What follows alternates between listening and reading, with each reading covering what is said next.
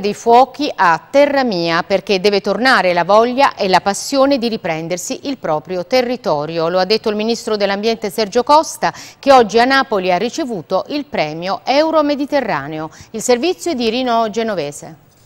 Oggi significa cambiare secondo me il paradigma, cioè passare da Terra dei Fuochi che è stato un marchio infamante per un per un territorio che peraltro non meritava nemmeno, passare a terra mia, cioè riappropriarsi del proprio territorio. Da generale in prima linea nella lotta contro la terra dei fuochi a Ministro per l'Ambiente, Sergio Costa torna nella facoltà che lo vide studente, agraria a Portici e annuncia la svolta. Terra mia, le cui norme saranno presentate nelle prossime settimane in Consiglio dei Ministri e ne anticipa le priorità messa in sicurezza, bonifiche, ma anche emarginare l'eco criminale, l'eco mafioso per fare in modo che non ci sia più una terra dei fuochi. Il premio Euro-Mediterraneo è assegnato ogni anno dall'Accademia Ercolanense, la più antica accademia culturale campana, a chi maggiormente si è distinto per il riscatto della nostra regione. Cultura significa innanzitutto lotta per la legalità.